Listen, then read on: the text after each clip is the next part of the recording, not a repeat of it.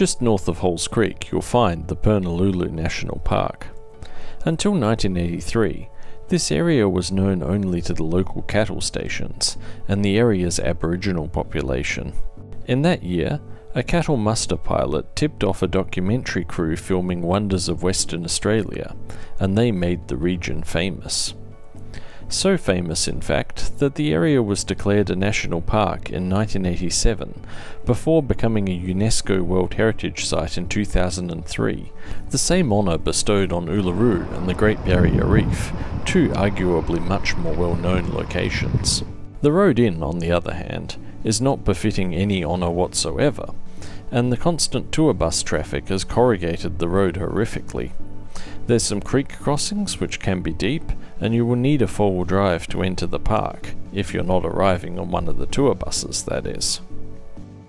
The 53 kilometre drive from the highway to the visitor centre typically takes about 1 to 2 hours to traverse.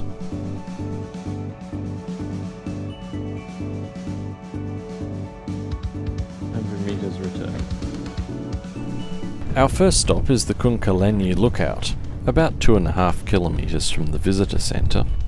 This has a very good view of the Bungle Bungle Range, the star attraction of the national park. But next up, we're going to head right to the end of the northern branch and work our way back.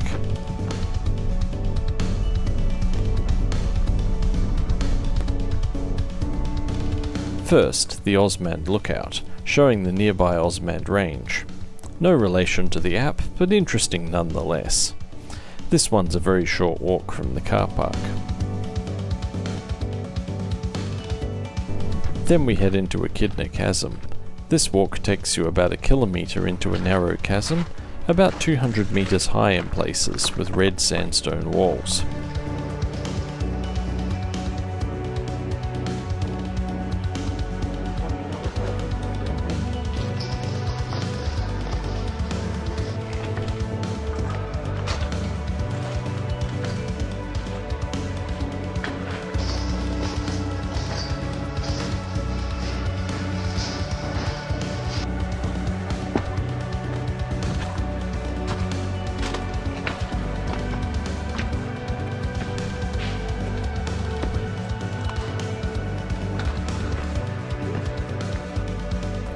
Unfortunately, the walkway at the end has collapsed, and you can no longer go all the way in, but you certainly can go in far enough to see most of the chasm.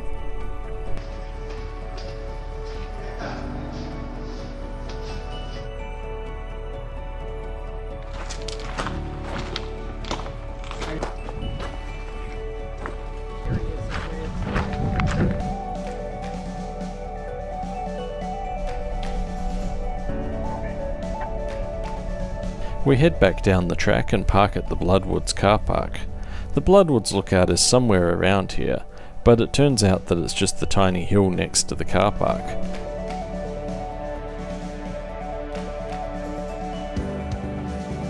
Mystery solved, we head on to Mini Palms Gorge.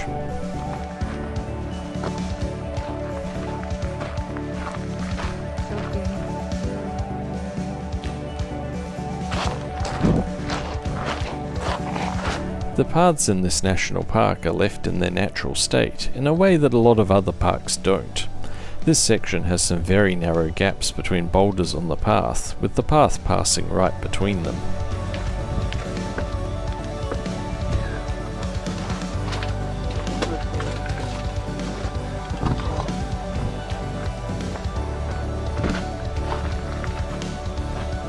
I'm surprised how these are fixed. No, I rested my hand on one before and it moved, so. Yeah.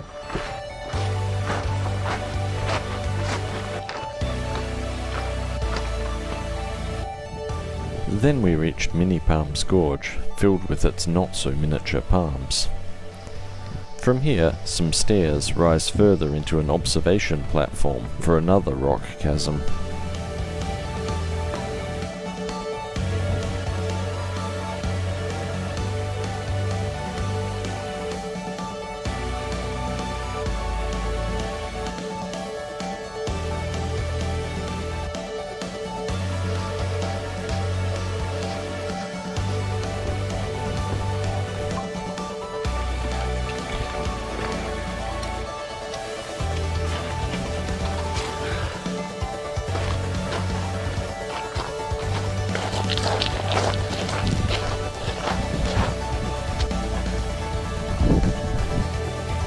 And then, reaching the car park again, we turned around and headed on to the next destination, along a path that was much more formed than the previous ones.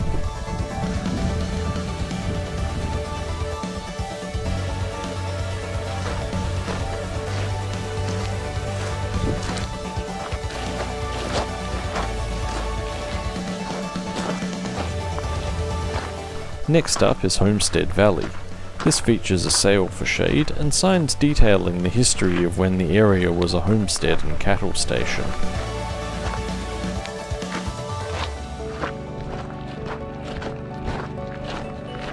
On our way out of Halls Creek, we got a windscreen chip from a stone kicked up by a truck. Unfortunately, a crack has now formed from that chip, so we'll apply some UV setting epoxy to it to hopefully stop it from spreading all the way across. We will need to replace the windscreen when we get back home though, as this isn't a permanent fix. The crack's now completely invisible, but will it open up again? At this point, we head over to the south fork of the track, to the Walardi campground.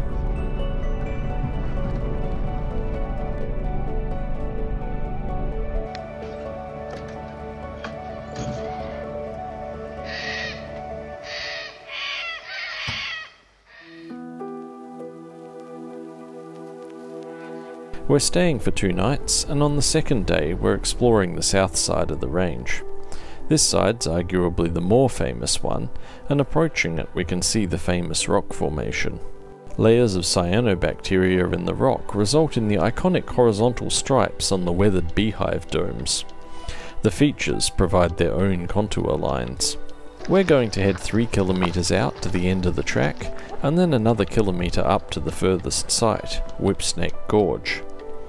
If you're dedicated and have all of the equipment though, you can keep going beyond this. A further 7 kilometres from here and you get to the elbow, the start of the Piccaninny Gorge. A further 4 kilometres in and you get to the Fingers, a set of 5 gorges deep into the middle of the range. But you'll need at least 2 to 3 days to explore all of that.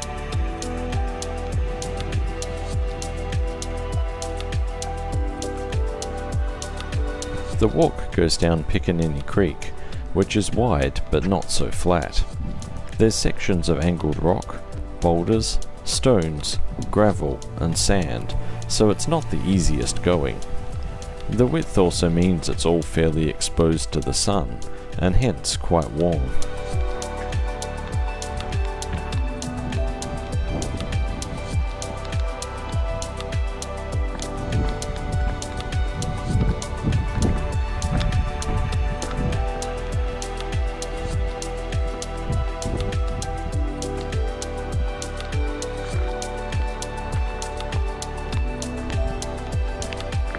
The inside of Whipsnake Gorge was a lot cooler than the track up Piccaninny Creek, a welcome relief from the weather that was already starting to warm up.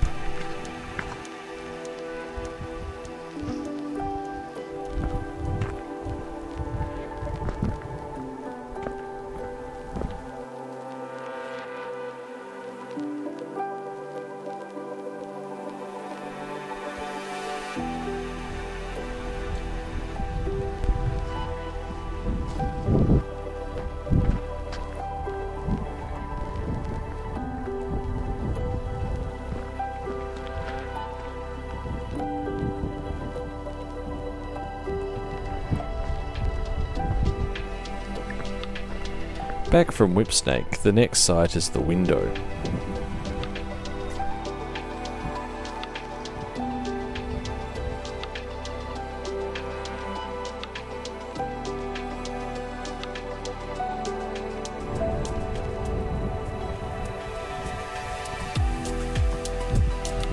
By this point the sun was very much out and it was getting quite warm, but we got to the furthest point first to maximise the amount of walking we do early in the day when it's still cooler.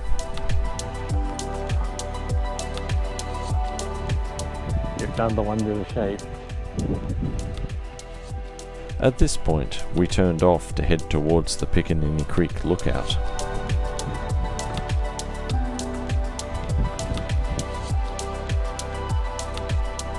This lookout offers a view of another range and more domes from the backside of this range.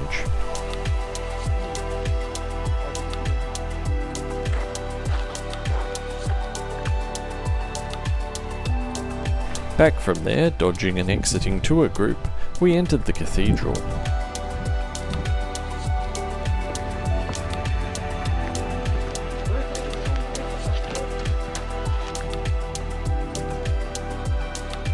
It's a massive chasm between rocks, the sheer scale of which defies perception, and non-ultra wide lenses.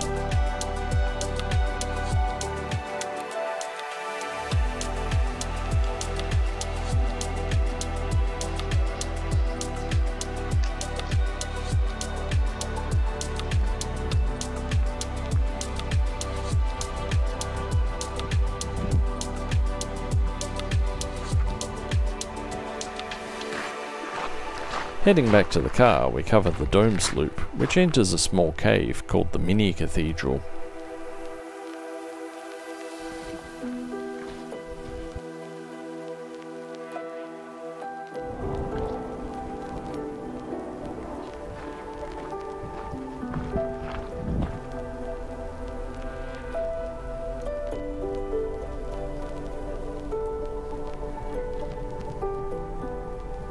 Back at the campsite, we refill the tanks with water. The campground has untreated bore water available, so we filter it through the MSR Guardian before putting it into the tanks to make it safe to drink without having to boil first. There's a walk at the campground that's not mentioned in the park notes. Going down the dry river and around a bunch of trees, it gives you a view of the range from much further away.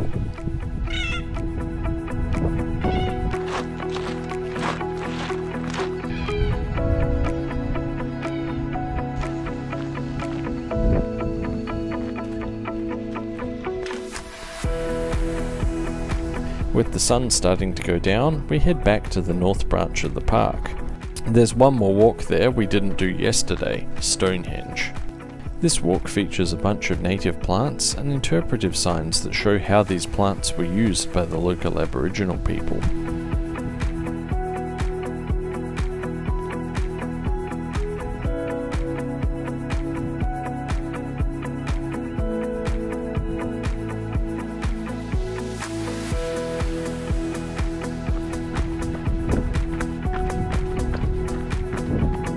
But there's one last thing to do get up the Kungkalahayi lookout in time for sunset.